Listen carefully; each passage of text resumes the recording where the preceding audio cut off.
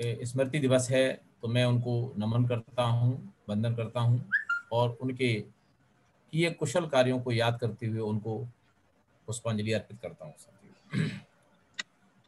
आज I honour and wish greatness in you आप में निहित महानता और मानवता की मैं शुभकामनाएँ देता हूँ। मीन्स सभी साथियों को मेरा जय भीम। पीबीएसपी के और एम के के शोध वाक्य के साथ समझाने वाले को समझना होगा और समझकर समझाना होगा और सम्राट अशोक का राज आएगा, सबको वैभुक्त बनाएगा। साथियों हमारे पीबीएसपी के जो पाँच सब्जेक्ट हैं, उसमें दूसरा जो सब्जेक्ट है कल्चर ऑफ़ एजुकेशन पर sorry education philosophy of Bahujan movement education philosophy of Bahujan movement पर हम लोग चर्चा कर रहे हैं और आज चौथा दिन है। और आज के दिन जो हमको डिस्कस करना है, वो डिस्कस करना है education approach of of doctor Baba Sahab for social transformation movement और इसमें what is the education philosophy of Baba Sahab Ambedkar और दूसरा एजुकेट एजिटेट एंड ऑर्गेनाइज और डेफिनेशन ऑफ़ सोशल एफिशिएंसी इन विषयों पर हम लोगों को आज वक्तव्य रखने का है।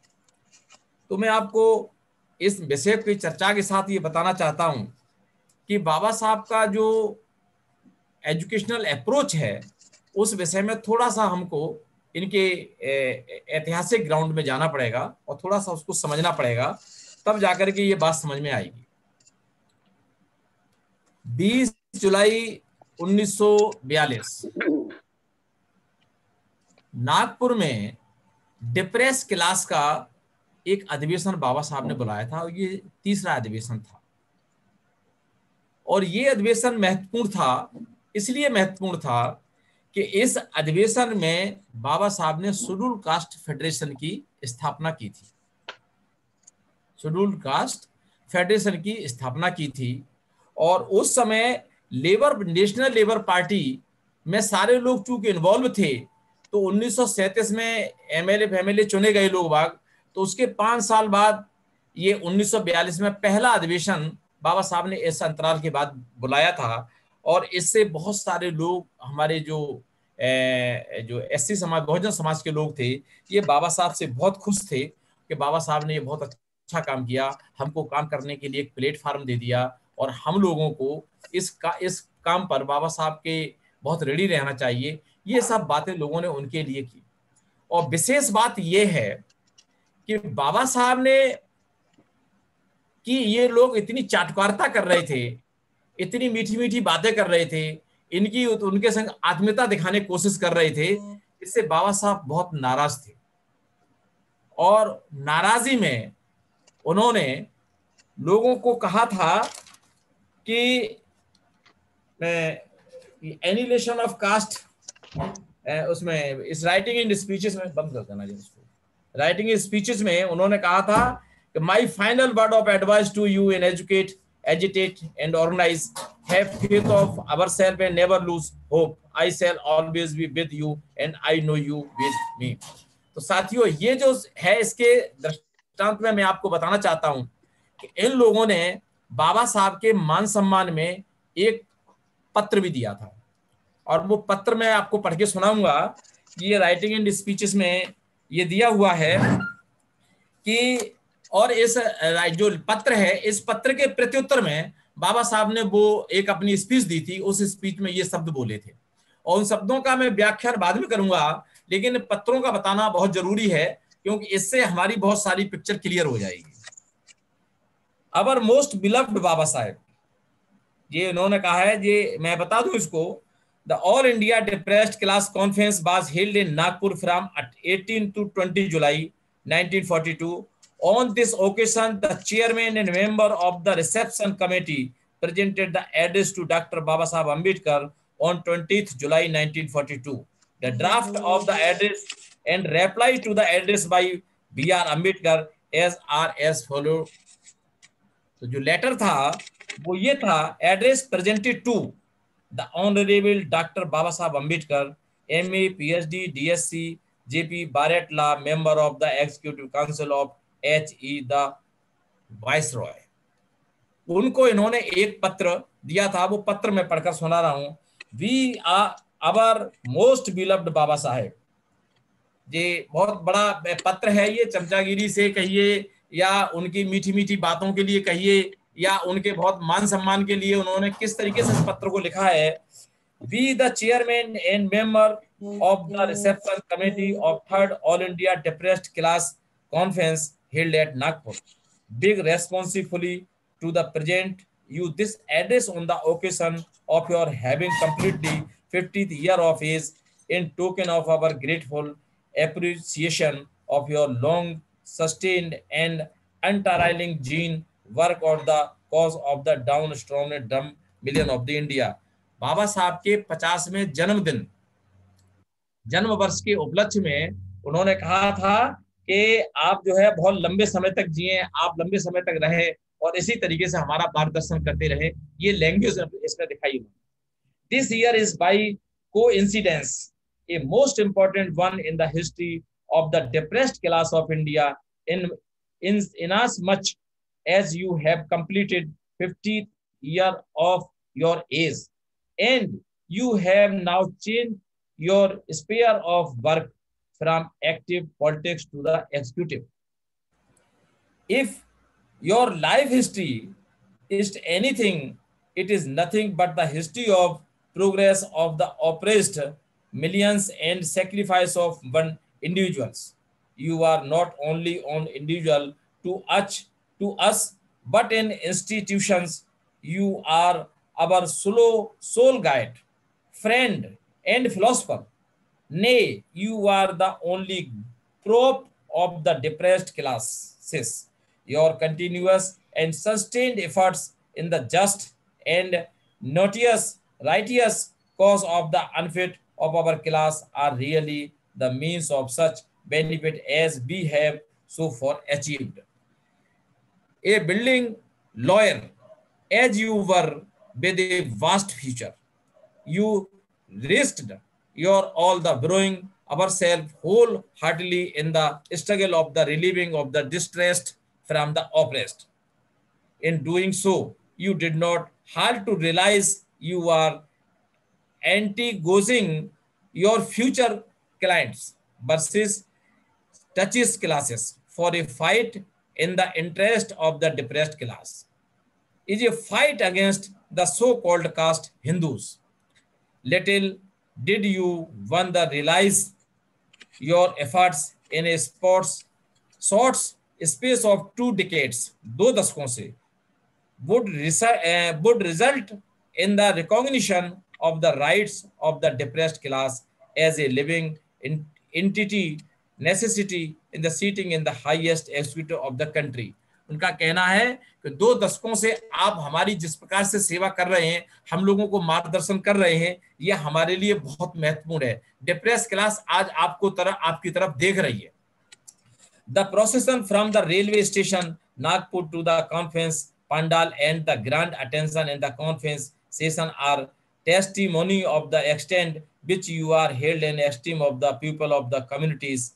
This spontaneous expressed in but the expression of the devotion of our classes to you for you and have done you are more than the creator to us we are through by the creator in bottomless abyss but unlike him you have done everything to lift us up out of it we can find in history no equal to you हम देख रहे हैं कि आपके बराबर हमारे लिए कोई नहीं है। In respect of your head and heart आप who for no further reason than service to your classes has been as liberal you in keeping upon the purpose freely and devoting whole life and energy for our cause words fail us to open our heart and give express our feelings suffice इससे इससे that they are any living god on earth is the personalize in you उन्होंने कहा, जिस प्रकार भगवान होता है, इस प्रकार आप हमारे समाज के लिए काम कर रहे हैं। We again offer you our sincere and heartful gratitude and wish you a long life as our mission on is earth may be fulfilled ये लेटर उन्होंने बाबा साहब को सम्मान करने के लिए दिया था। जब बाबा साहब को इनकी बात में कुछ दिखा और उनको लगा कि ये लोग हमारी झूठी तारीफ़ कर रहे हैं, जब मैं इनको कोई काम देता हूँ तो ये काम नहीं करते हैं। और हमारी झूठी तारीफ़ करके हमको प्रशस्ति पत्र दे के, मान सम्मान दे करके एक झूठी मतलब हमारे साथ वो काम कर रहे हैं। इसको बाबा साहब ने बहुत बारीकी से अंडरस्टूड किया और समझा। बाबा साहब ने in reply to the address doctor Baba Saheb सेठ लेडीज़ एंड जेंटलमैन बाबा साहब ने इस पत्र का जवाब दिया। और जवाब लेटर तो काफ़ी बड़ा है, लेकिन मैं नीचे का पैरा पढ़ के सुनाऊँगा, कि वो लेटर पढ़ूँगा तो वो पढ़ने से कोई मतलब नहीं रह जाता। You have less need of any assurance from me and I will fight for the idea I stand in greater need of an assurance from you you have assured me of your love and affection it was a quite unnecessary I was an assurance of an other kind It is an assurance of strength, unity, and determination to stand for our right, fight for our rights, and never to return until we win our rights. You promise to do your part. I promise to do mine. आप अपने बच्चन को निभाएँ और मैं अपने को निभाऊं with justice on our side हम अपना एक दूसरे का जस्टिफिकेशन करें I did not to see how we can lose our battle हम कैसे अपना युद्ध हारेंगे, ये हमें देखना होगा। The battle to me in a matter full of joy the battle is in fullest sense if spiritual there is nothing material और sordid in it for our is a battle not for wealth for our power it is battle for freedom it is a battle for reclamation of human personality which has been suppressed and mutilated by the Hindus, Hindu social system, and will continue to the suppressed and mutilated if in the political struggle the Hindus win the we lose. My final words of advice to you. ये शब्द बाबा साहब ने उनको बोला था सबसे last वाला my final words of advice to you is educate agitate and organise have a your have a faith in your self and never lose hope have a patience और have confidence ये पाँच चीज़ें बाबा साहब ने, वो जब वहाँ बोली तो इनको समझने के लिए बहुत ज़रूरी है कि बाबा साहब इन पाँच चीज़ों में क्या कहना चाहते थे। यहाँ एजुकेट का मतलब बाबा साहब ने क्या लगाया? यहाँ एजुटेट का मतलब बाबा साहब ने क्या लगाया? यहाँ ऑर्गेनाइज का बाबा साहब ने मतलब क्या बताया कि वो क्या कहना चाहते थे कि आपको ये काम करना है? ये बाबा साहब जो कहना चाहते थे उसको समझने के लिए बहुत ज़रूरी है कि हम इन शब्दों को बहुत बारीकी से समझें। पहले दिन जिसमें बाबा साहब मैं शिक्षित बनो के जो जो एजु, एजुकेशन की बात करते हैं तो बाबा साहब यहाँ ये कहते हैं शिक्षा का मतलब ये है कि आप जैसे बाबा हम ये बात कहते हैं कि जिस प्रकार हम जाति को समझने में कम पड़े हैं, इसी प्रकार हम शिक्षा को समझने में कम पड़े हैं एजुकेशन फिलोसफी को समझने में कम पड़े हैं। तो जो शिक्षित बनो का शब्द है, वो बाबा साहब कहना चाहते थे कि आप सो, यहाँ शिक्षा का मतलब सोच विचार करने में। हमारा समाज सोच विचार करने में कम पड़ा है और हम सोच विचार करने में कम पड़े हैं। इसीलिए हम किसी प्रकार का सोशल ट्रांसफॉर्मेशन मूवमेंट यानी किसी प्रकार की क्रांति करने में असफल रहे बाबा साहब कहते हैं कि आपको शिक्षित बने का मतलब है आप सोच सोच विचार करने वाले बने। आप थिंकिंग स्किल वाले बने और आप बने नहीं, आप समाज को भी बनाएँ। सोच विचार करने वाले समाज का भी निर्माण करें। जब आप सोच विचार करने वाले बनेंगे और सोच विचार करने वाले समाज का निर्माण करेंगे, तब आप आगे बढ़ पाए। क्योंकि बाबा साहब सोच विचार, जो शिक्षित के मतलब सोच विचार करने, और ये भी कहते थे कि हमको जो है शासनकर्ता जमात बनानी है। शासन करती कौम बनानी है। तो शासन करती कौम बन, कौन बन सकता है? ये बहुत विषय चिंतनीय है। शासनकर्ता कौन वही बन सकता है जो सोच विचार करने में परिपक्व होगा। और सोच विचार करने में परिपक्व होगा, तभी हम शासनकर्ता शासन शासनकर्ता बन सकते हैं। तो बाबा साहब यहाँ एजुकेशन का मतलब कहते हैं कि आप सोच विचार करने वाले बनिए और सोच विचार बन करके आप शासनकर्ता कौन बनिए। तो thinking thinking people one design and way forward the quality of our future will depend शासनकर्ता, मैं सॉरी मैं यहाँ बताना चाहता हूँ कि बाबा साहब ने यह जो जो जो यह बात बताई कि आपको सोच विचार करने वाला समाज का निर्माण हमको करना पड़ेगा और सोच विचार करने वाले समाज से ही हमारे लोगों का कल्याण हो पाएगा। ये बात बाबा साहब ने कहा और तभी हम जो है शासनकर्ता समाज, शासनकर्ता कौन बना पाएँगे समाज बना पाएँगे। ये शिक्षित बनो का नारा है स्लोगन जो है, जिससे मतलब बनता है कि सोच विचार करने वाला बनो और सोच कर, सोच विचार करना सिखाओ और सोच विचार करने वाला समाज बनाओ। अब ये बात जो जो एजुकेशन के बाद जो एजुटेट है एजुटेट में एक जब भी आप एजुकेट करेंगे तो दो लोगों के प्रति करी जाएगी। एक तो आप एजुटेट करेंगे, आप जब भी कोई नई एक्शन आइडियोलॉजी में जाएँगे, तब आप उसको एजुटेट करेंगे, या आपके विरुद्ध जो कार्रवाई कर रहा है, उसके खिलाफ आप अपना पक्ष रखेंगे। तो एजुटेशन एक्शन आइडियोलॉजी के साथ जुड़ा हुआ है कि जब आप संघर्ष करेंगे तो उसमें हमेशा हमेशा जो है पॉसिबिलिटी छिपी रहती है। अगर आप सोच सोच विचार करने वाले बन जाते हैं और आप किसी आइडियोलॉजी में अपने को एक्टिव जब भी करेंगे तो दो तरीके के, या तो आपके साथ जो जो जो कोई आपके, जो आपका शासनकर्ता बना हुआ है, उसके खिलाफ आप एजिटेट करेंगे, या एक्शन आइडियोलॉजी जाएँगे। तो जब एक्शन में जाएँगे तो आपको पॉसिबिलिटी दिखाई देगी। तो बाबा साहब यहाँ ये कहते हैं कि संभावनाएँ खोजो और संभावनाएँ सीखो। संभावनाएँ खोजो और संभावनाएँ सीखो और संभावनाओं वाला समाज बनाओ। क्योंकि जब तक आप संभावनाओं वाले समाज का निर्माण नहीं करेंगे जब तक आप पॉसिबिलिटी में काम नहीं करेंगे, तब तक आप किसी भी एक्शन आइडियोलॉजी में काम नहीं करेंगे, तब तक आप कहीं भी अपने आप को सबल नहीं कर। यहाँ पर जो है, यहाँ एजिटेशन में के गर्भ में पॉसिबिलिटी छिपी हुई है। यहाँ पर एजिटेशन के गर्भ में पॉसिबिलिटी छिपी हुई है। तो यहाँ बाबा साहब का ये स्लोगन एजिटेशन कि हमको संभावनाएँ खोजो और संभावनाएँ सिखाओ और संभावनाएँ खोजने वाला समाज बनाओ। जब आप सोच विचार करके कोई काम पॉसिबिलिटी में काम करेंगे, संभावनाएँ खोजने का काम करेंगे तो आप देखेंगे कि उसमें आपकी सृजनता छिपी रहती है। आपकी जो है, सृजनता छिपी रहती है, क्योंकि संगठन आज अगर हम आज 6743 जातियाँ हैं, और उनको ऑर्गेनाइज करने का अगर हम काम लेते हैं, अब तो 6743 तो साहब काशीराम साहब के जमाने थी। आज तो मनुवादियों ने ये ये ये व्यवस्थाएँ जो है, कास्ट लगभग दस हज़ार बना दी हैं। दस हज़ार जातियाँ बैठेंगे बहुजन समाज में। अगर इनको हम जब ऑर्गेनाइज करने के लिए बैठेंगे तो यहाँ पर हमारी एक्शन आइडियोलॉजी यहाँ पर हमारी सृजनता छिपी हुई है। तो ये सृजनता जो है, ऐसा काम समाज में एजिटेट ऑर्गेनाइज के बाद सृजनता जन्म लेती है। एजिटेट और ऑर्गेनाइज के और एजिटेट ऑर्गेनाइजेशन के अंतर्गत आपको सृजनता जन्म लेती है। तो सृजनता सीखो, सृजनता सिखाओ और सृजनता वाला समाज बताओ तो बाबा साहब अपने कार्यकर्ताओं को, बाबा साहब अपने कार्यकर्ताओं को 20 जुलाई 1942 को नागपुर में द डिप्रेस क्लास का अधिवेशन बुलाया था और उसी डिप्रेस क्लास के अधिवेशन में लास्ट दिन बाबा साहब ने the schedule caste federation of India का निर्माण किया था।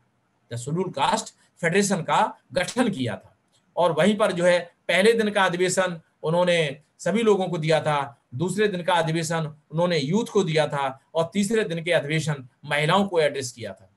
ये जो अधिवेशन था, ये बाबा साहब के जीवन का बहुत टर्निंग पॉइंट था, क्योंकि उस समय जो लेबर पार्टी थी और जो काम चल रहा था तो ये लोग डिप्रेस क्लास से जो हमारे लोग जीत करके आए थे तो गांधी और इनके नेतृत्व को माना गया, बाबा साहब के नेतृत्व को इन्होंने स्वीकार नहीं कर रहे थे।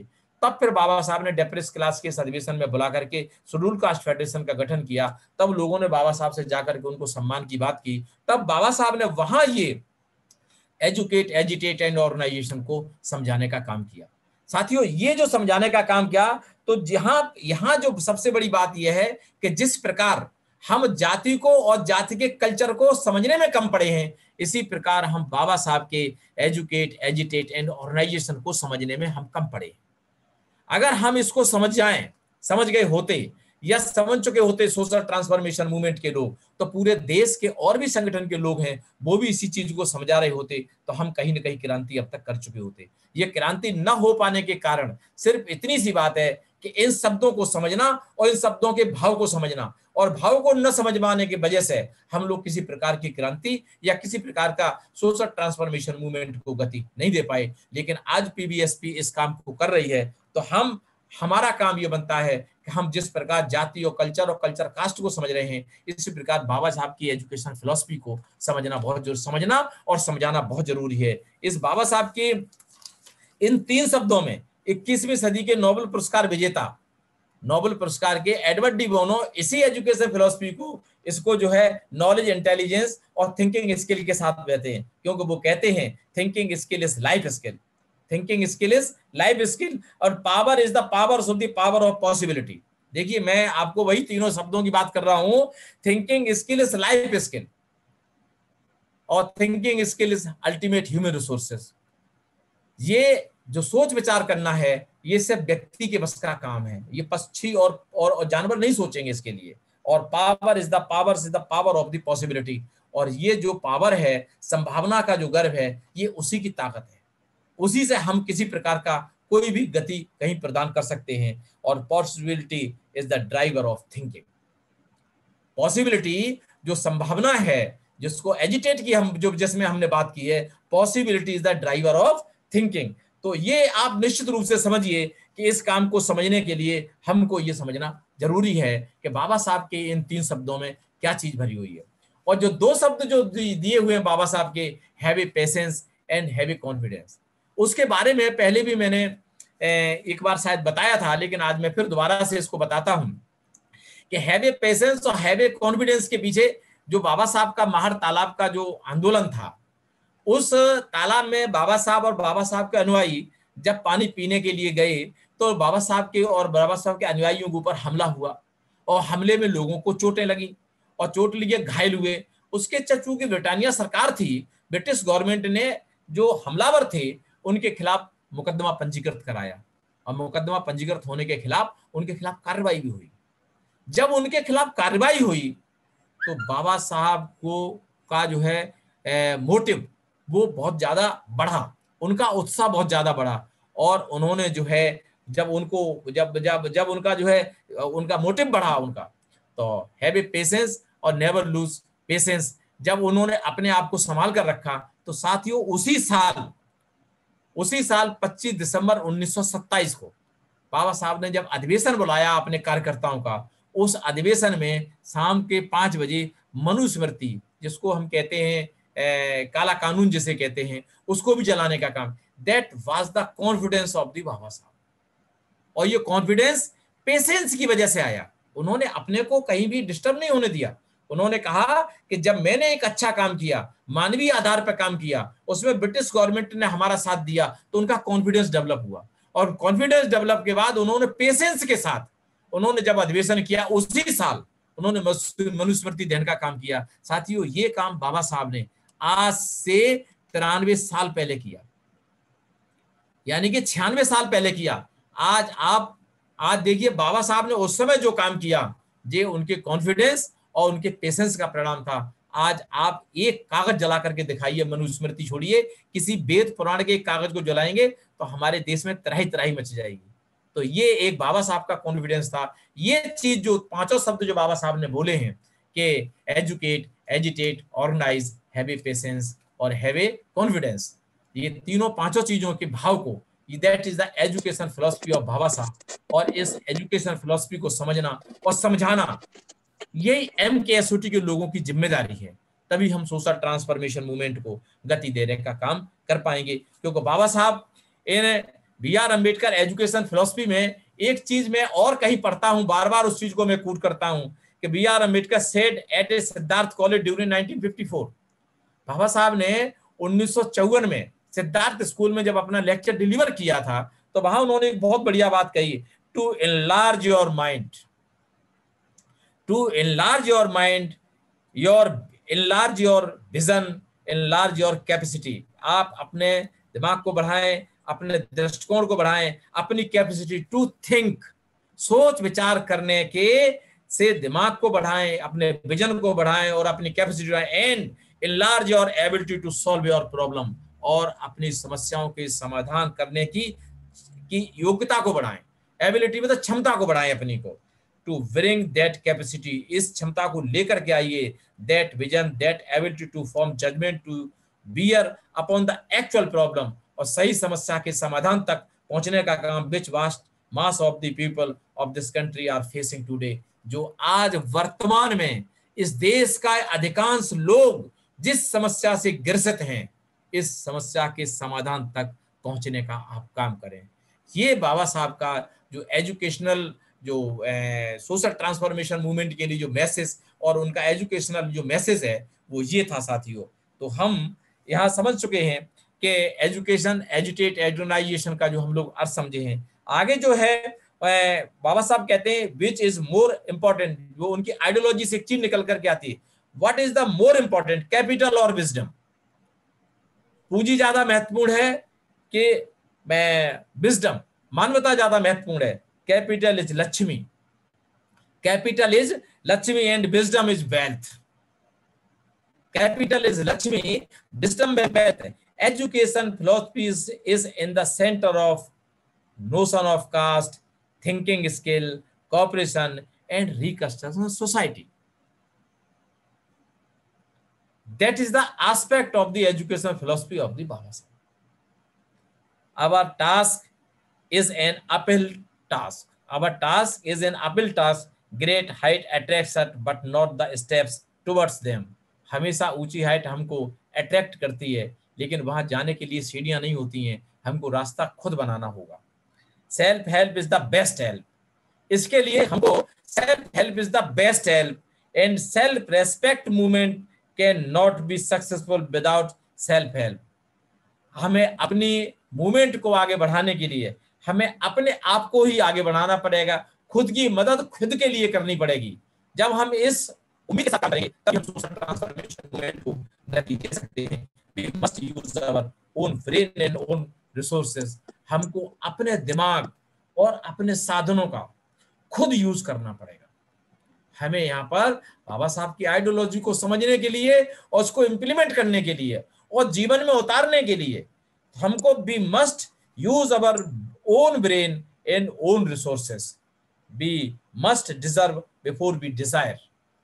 We must deserve before we desire to develop responsibility and creativity in ourselves.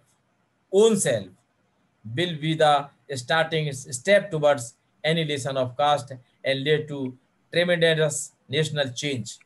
तो साथियों ये जो एजुकेशन फिलोसफी बाबा साहब की है ये हमारे लिए कितनी उपयोगी है, किस तरीके से उपयोगी है, ये हम समझने में यहाँ हुए एजुकेशन अलोंग में डीकास्ट देखिए, बाबा साहब की जो एजुकेशन से फिर वही बात लौट करके आती है। एजुकेशन एलोन में decast in the notion of caste culture of stupidity अगर हम एजुकेट होंगे तो हम कास्ट को भी डी कास्ट प्रोसेस में ले जाने में सफल हो सकेंगे। अगर हम सोच विचार करने वाले होंगे तो कास्ट को भी डाइल्यूट करने का काम कर सकेंगे। But if used with thinking skill and cooperation, it becomes a dynamite which can completely annihilate the culture of caste in india. अगर हम सोच विचार करने वाले बनेंगे तो हम कास्ट को भी डायल्यूट कर कर सकेंगे। और सोच विचार करने वाले समाज को बनाने में कर्म हो गए तो हम जो है शासनकर्ता समाज भी बना लेंगे। और और कास्ट को पूरी तरीके से डायल्यूट कर सकेंगे साथियों। दो द एज पर बस ये बात मैं आपको बताना चाहता हूँ कि बाबा साहब की एजुकेशन फिलोसफी में इन चीज़ों से ये स्पष्ट होता है कि बाबा साहब समाज को जो देना चाहते थे मैसेज, जो संदेश देना चाहते थे, वो संदेश इस तरीके से निकल करके साथियों आया है। आगे का जो हमारा, अगला जो हमारा सब्जेक्ट पर जो टॉपिक है, वो है डेफिनेशन ऑफ़ सोशल एफिशिएंसी तो साथियों, इस विषय में कोई डेफिनेशन तो हमें नहीं मालूम, लेकिन ये जो एक एनिलेशन ऑफ़ कास्ट में एनिलेशन ऑफ़ कास्ट में बाबा साहब कुछ मैसेज देते हैं। उस मैसेज से स्पष्ट समझ में आता है कि उनकी जो है definition of social social efficiency definition of social efficiency में उन्होंने कहा है कि राजनीतिक सुधार के लिए सामूहिक सुधार क्यों ज़रूरी है? एक दूसरे नंबर का जो चैप्टर है, इसमें बाबा साहब कहते हैं the path of social reform like the path to heaven at any rate in India the path of social reform like the path to heaven at any rate in India is the is true with many difficulties. Social reform in India has few friends and many critics. Critics. The critics fall into two distinct classes. One class consists of political reformers, one of the socialist. Baba Saheb कहते हैं कि सुधार में या भारत में सुधार जो है स्वर्ग से कम की, स्वर्ग की तरह काम करता है और अनेक कठिनाइयों से भरा हुआ है। भारत समाज में, भारतीय समाज में सुधार करने वाले मित्र कम, आलोचना करने वाले मित्र ज़्यादा हैं। और आलोचना के रूप में दो वर्गों को विभाजित किया है। एक वर्ग राजनीतिक सुधारों की बात करता है और दूसरा वर्ग समाजवादियों, समाज सुधारकों की बात करता है। तो साथियों, ये जो कंसेप्ट है, इस कंसेप्ट के नीचे बाबा साहब कहते हैं, ये एक समय था जब सामाजिक कार्य कुशलता के बिना, सक्रियता के अन्य सभी क्षेत्रों में स्थायी सामाजिक प्रगति असंभव थी। एक समय ऐसा था, जब सामाजिक कार्य कुशलता सामाजिक कार्य कुशलता का मतलब सोशल एफिशिएंसी सोशल एफिशिएंसी की क्षमता और इससे बाबा साहब कहते हैं, बहुत बढ़िया बात कहते हैं कि कुरुतियों द्वारा की जाने वाली शैतानों के कारण हिंदू समाज में कार्य कुशलता का अभाव है।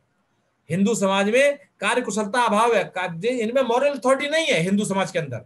लेकिन बिल्कुल भी नहीं है। और इन बुराइयों को खत्म करने के लिए अथक प्रयत्न किया जाना चाहिए। हमको ग्रिट के साथ ग्रिट के साथ मतलब दृढ़ निश्चय के साथ हमको प्रयास करने चाहिए। अगर हम ऐसा प्रयास करने में सफल हो जाते हैं तो हम निश्चित रूप से समाज में एक बड़ी क्रांति ला सकते हैं। यहाँ बाबा साहब ने कि इस को समझने के लिए, बाबा साहब ने इसमें जॉन डिवे के, जॉन डिवे की बात को भी कूट किया है। मैं उसको पढ़ के बताना चाहता हूँ। कि इन संस्थाओं में सबसे महत्वपूर्ण राजनीतिक और शैक्षणिक संस्थाओं के निर्माण में सहयोग किया है। इन संस्थाओं में American civil liberties union the national association for the development of coloured peoples the league for industrial democracy the new New York teacher union the American association of ये तमाम संगठनों ने इस क्षेत्र में काम किया है।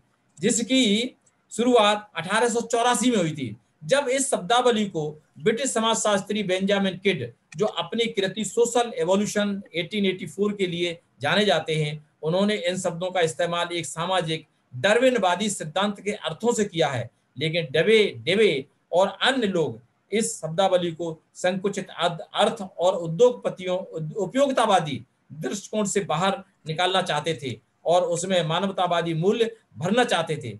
लेकिन शिक्षा के क्षेत्र में ये शब्द 1920 के दशक में व्यापक रूप से प्रचलन में आया। सोशल एफिशिएंसी का शब्द जो है, ये 1920 में डेमोक्रेसी एंड एजुकेशन के पब्लिश होने के बाद, democracy John professor John Dewey की डेमोक्रेसी एंड एजुकेशन के पब्लिश होने के बाद, ये सोशल एफिशिएंसी का जो शब्द है, ये प्रचलन में आया। और जॉन डिबे और अंबेडकर के लिए, बाबा साहब अंबेडकर के लिए सामाजिक क्षमता इस बात पर निर्भर करती है कि व्यक्तिगत विशेष इस बात में सक्षम है वह स्त्री या पुरुष अपनी काबिलियत का चुनाव करें और उसका पूर्णतया विकास कर सकें। इस प्रकार सचेत तरीके से सामाजिक क्रियाकलापों में अपना योगदान दें। ये एक ऐसी व्यवस्था जो एक एक व्यक्ति के पेशे, उसकी जाति या वर्ग के आधार पर पहले से ही तय कर दें। ऐसी सामाजिक अक्षमता होती है अपने उद्धव के आधार पर। इस शब्द बीसवीं शताब्दी की शुरुआत में वैज्ञानिक सिद्धांतों के आधार पर, समाज, राजनीति और अर्थव्यवस्था की क्षमता के आधार पर पुनर्गठित करने के प्रयासों का हिस्सा भी था। तो बाबा साहब की जो सोशल एफिशिएंसी जो शब्द है, वो कहना है कि वर्तमान का जो हिंदू धर्म है, ये सभी एफिशिएंट नहीं है। ये अपने आप को बनाए रखने के लिए पर्याप्त नहीं है। लेकिन अगर हम अगर हम इस, इसमें अपने को अगर एक्टिव करें तो हम जल्दी बहुत बड़ी क्रांति इसमें ला सकते हैं। ये हम, हमको जो है सामाजिक दृष्टिकोण अपना मज़बूत करना पड़ेगा और सामाजिक दृष्टिकोण तभी मज़बूत कर पाएँगे जब आप एजुकेट एजुकेट एंड ऑर्गेनाइज को सही तरीके से समझ करके उसको इम्प्लीमेंट करने का काम कर पाएँगे साथियों। इसी के साथ मैं एक बात और कहना चाहता हूँ यहाँ साथियों कि बाबा साहब ने जीवन भर, बाबा साहब ने जीवन भर जिस भी एजुकेशन फिलोसफी पर काम किया, उन्होंने जिसको उन्होंने बताया है, उसको काम नहीं किया उन्होंने। उन्होंने उस फिलोसफी को जिया है। उन्होंने उस फिलोसफी को अपने जीवन के आचरण में उतारा है। आचरण में उतार कर को प्रैक्टिकल वे में ले जाने का काम किया है। तभी वो बाबा साहब जो भी बात कहते थे वो बात ऐसा लगता था कि जैसे ये उनके ए, हमको अटपटी सी लगती है। लेकिन उनके लिए अटपटी नहीं थी जो बाबा साहब के साथ लगे हुए थे और बाबा साहब के साथ काम कर रहे थे। इसलिए it is most important to implement the ideology of Baba Saheb in my self in our self और अपने आचरण में उतारें और अपने बिहेवियर में उतारें अपनी एक्शन आइडियोलॉजी में उतारें। तभी हम देख पाएँगे कि बाबा साहब के इन शब्दों का मूल भाव क्या है और कैसे बन पाएगा। क्योंकि बिना सोच विचार करने वाला समाज, बिना सोच विचार करने वाला समाज कभी जो है शासक नहीं बन सकता और शासक बन भी जाएगा तो वो टिक नहीं सकता।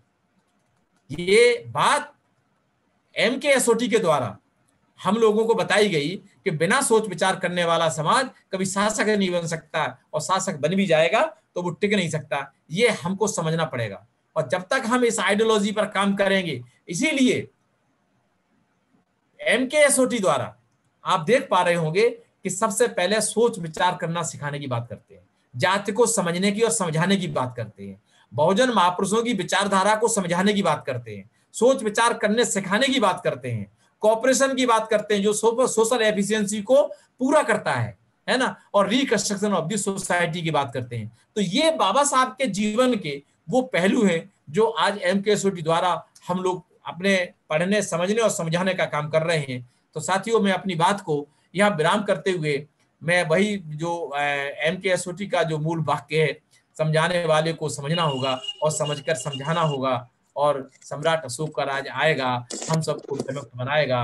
सभी साथियों को मेरा जय भीम। मैं अपनी बात को यही विराम करता हूँ। धन्यवाद।